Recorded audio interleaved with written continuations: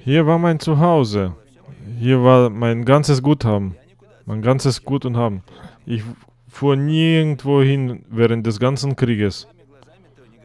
Hätte ich es nicht mit eigenen Augen gesehen, hätte ich es nicht gesagt.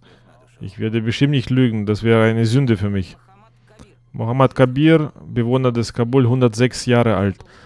Hauptgärtner des letzten afghanischen Königs Muhammad Zahir Shah war Zeuge des Amin-Schlosses-Sturms.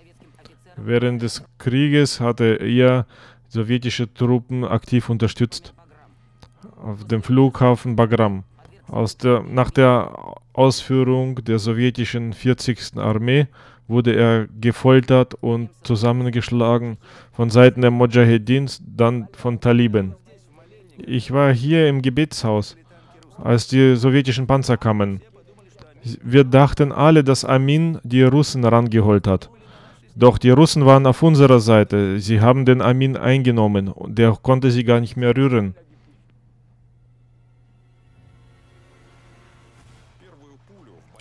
Die erste Kugel im Kampf für das Schloss von Amin hat Tursulan schon bereits im BTR auf dem Weg zum Schloss eingeschnappt. Sie schlug komplett durch seinen Helm durch und hat aber den Kopf nicht berührt. Die zweite Kugel hat er direkt auf dieser Treppe gekriegt. Die Schutzwesten hatten die äh, Muslim Muslimen-Bataillons an die anderen abgegeben und gingen nur in normaler afghanischer Kleidung, so dass er wieder nur ein, einmal Glück hatte. Die Kugel geriet in ein zweites in Ersatzmagazin. Die Magazine hatten wir in unserer normalen Kleidung, in der afghanischen Kleidung. Ich hatte dieses Magazin lange Zeit aufbewahrt. Der Schmerz war stark, aber nie, nichts wurde durchschlagen und ich war nicht verletzt. Der Tod war sehr nah. Und in diesem Moment wusste Ruslan Tursunkulov nicht mal, für was er sterben könnte.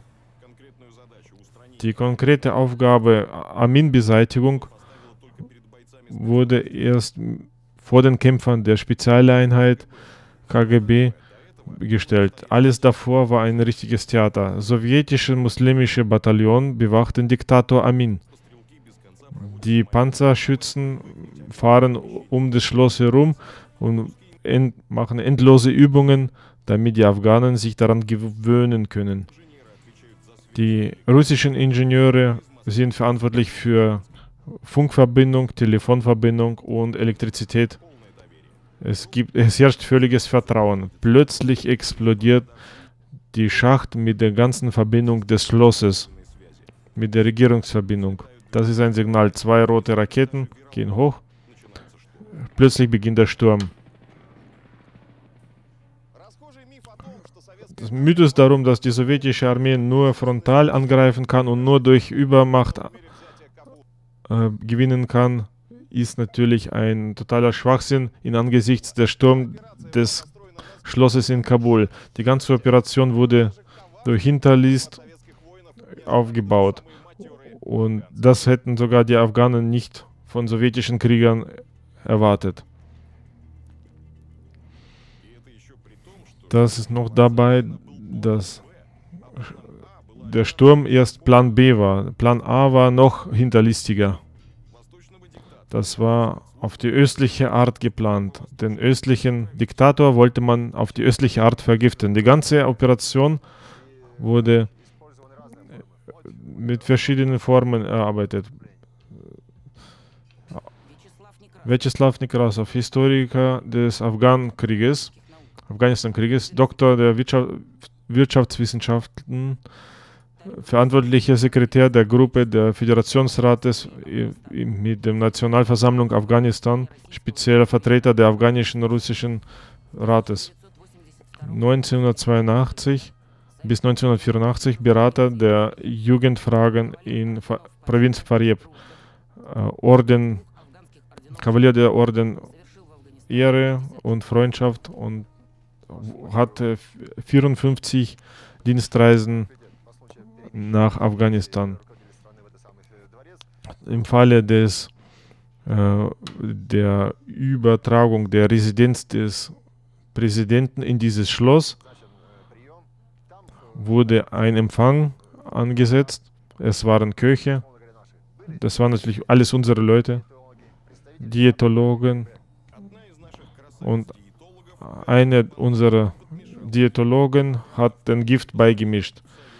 Die Wache hat in Panik in sowjetische Botschaft angerufen und extra von der Botschaft gekommene Doktor, der wusste seine Sache ganz gut und hat natürlich seinen ärztlichen, äh, seine ärztliche Pflicht richtig ausgeführt und hat den Präsidenten der, von Afghanistan gerettet. Er wusste nichts von der KGB-Operation. Amin wurde gerettet. Jetzt wurde Sturm unaufhaltbar. Rustam Tursunkulov wusste von dem Ganzen nichts. Er sagte nur dann nach dem Sturm, dass Amin äh, an die Tröpfen, Tröpfler angeschlossen war. Wir haben ihn von Fernen gesehen, von Weitem. Man sagte uns, dass dieser Mensch, der drin liegt, mit den ganzen Spritzen, das ist der Amin ist.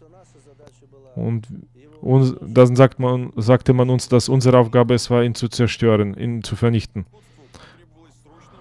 Warum hat denn sowjetische Regierung den Mord von Amin befohlen, der angeblich Sozialismus bauen wollte? Nicht nur, bestimmt nicht deswegen, dass, ihn, dass sie darum Amins Gegner gebeten hatte, anderer Marxist, Babrak Karmal. Warum? Wir, bereits während des Sturms des Palastes wurde bereits eine 70.000 Mann starke Armee nach Afghanistan eingeführt.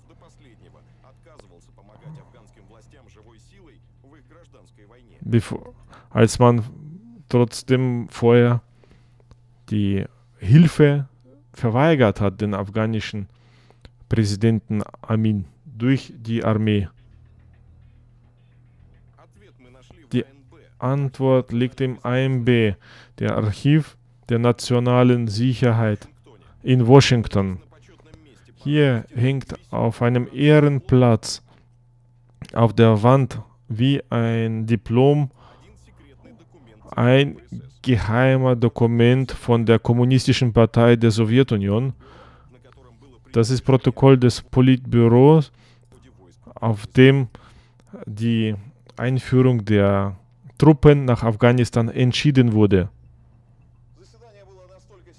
Die Sitzung war so geheim, dass sogar die Stenografenrolle niemand anders als der zukünftige Anführer von Sowjetunion, Konstantin Tschernenko, ausführte.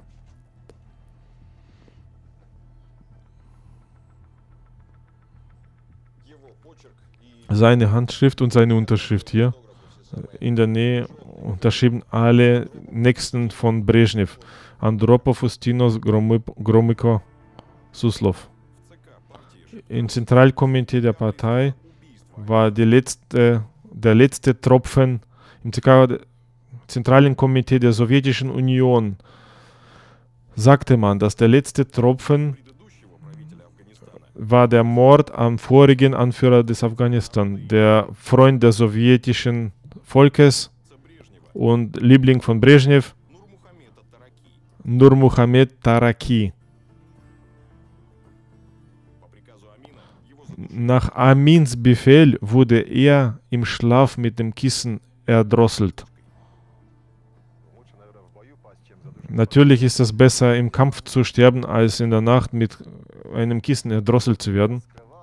Und Amin hat das verdeckt, als man trotzdem das in Erfahrung gebracht hat und das dem Brezhnev berichtet hatte, hat, ist Brezhnev, der als sehr zurückhaltender Mensch galt, hat er solche Worte von sich fallen lassen, so ein, äh, so ein Peak der negativen Emotionen, so ein Gipfel.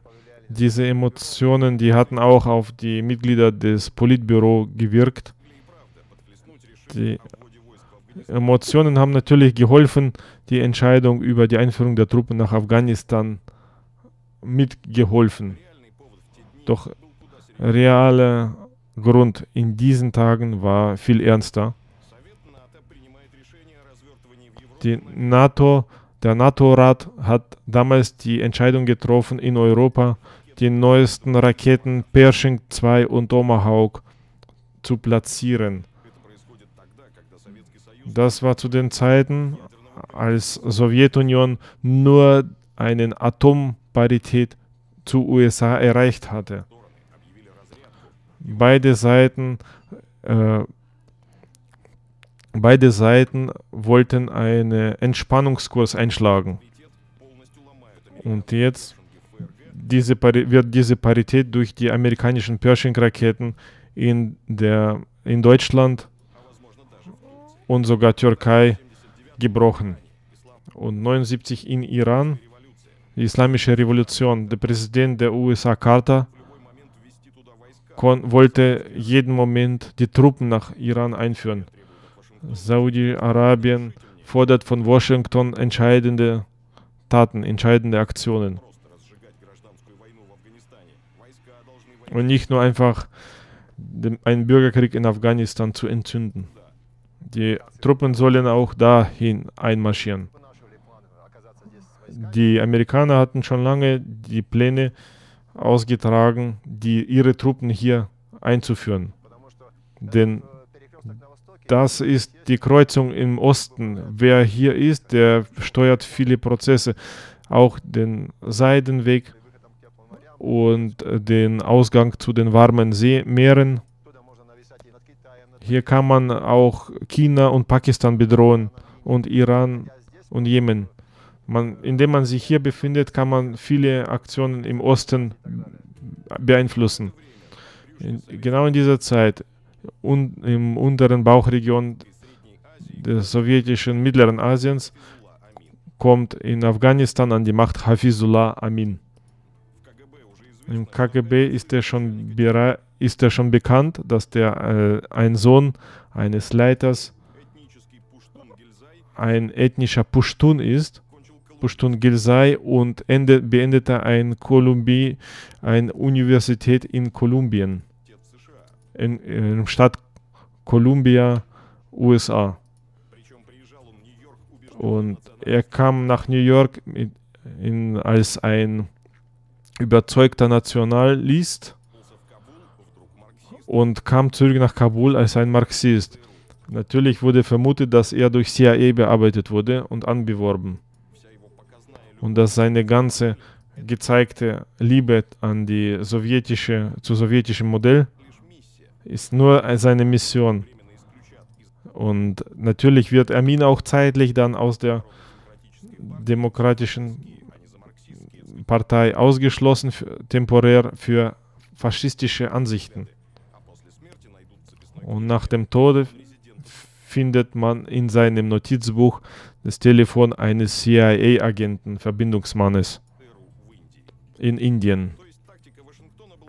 Das heißt, die Taktik von Washington war bekannt. Wenn Moskau Sozialismus exportiert, indem sie Geld in Wirtschaft der Verbündeten pumpt,